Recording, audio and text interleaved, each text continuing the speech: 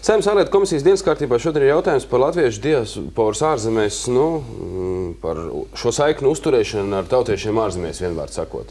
Jūs aicinat valdību un tā pieņemt kaut kādu konceptuālu plānu, lai tad tā saikne nepazūst, lai viņi attīstītos. Redziet, mēs bijām, mēs bijām arī Amerikā oficiālā vizītē, un mēs tikāmies ar Amerikas Latviešu apvienību.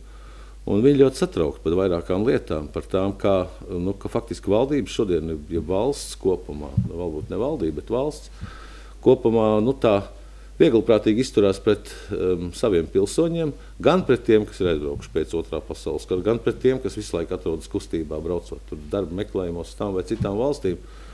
Jo pasaulē ir sācies pavisam cits process. Katra valsts mēģina savus, nu, ja ne atpakaļ, tad vismaz saglabāt to saiti un pieturēt viņus pie savas valsts. Pieturēt caur palīdzību likumdošanā, caur palīdzību, piemēram, ja tur rodas šķiros, šķiršos, šķiroties, kas notiek ar bērniem un tā tālāk aizstāv savus pilsoņus. Mums jāsaka godīgi, ka pēc ģimenes lietu ministrijas likvidēšanas Faktiski tā funkcija ir aizgājusi Tieslietu ministrijā, kur viņi tā arī, manuprāt, ir tā, tā veiksmīgi nogrimusi zem ūdens, un, un, un nekur, nekur nekas tur nenotiek.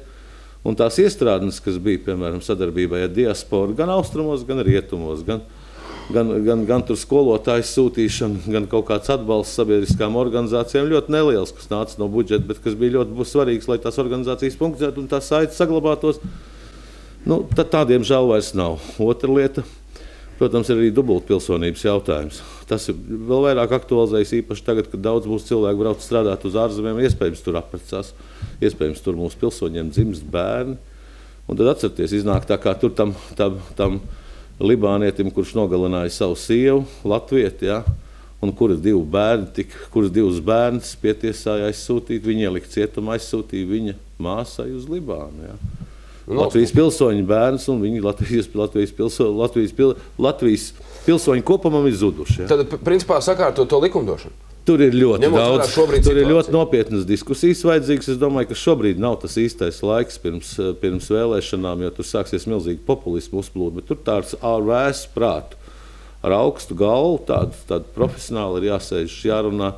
Tur, protams, ir jāpārskata visas šīs normas. Un tas bija arī viens no jautājumiem, ko Amerikas Latviešu apvienība mums teica.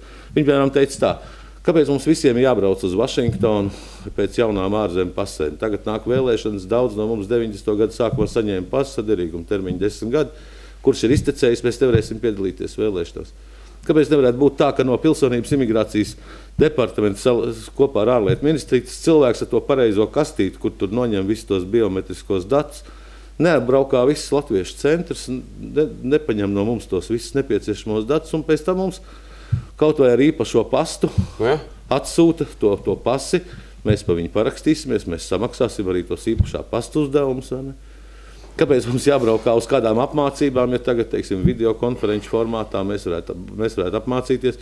Kāpēc nevar katrā latviešu centrā būt, teiksim, vēlēšana, vēlēšanu nu, iecirknīts? Mēs esam gatavi uzņemties atbildību. Tur jāsaka, mēs Cimdara kungu vakar noklausījāmies. Tur ir ļoti nopietni pavirzījušās lietas uz priekšu.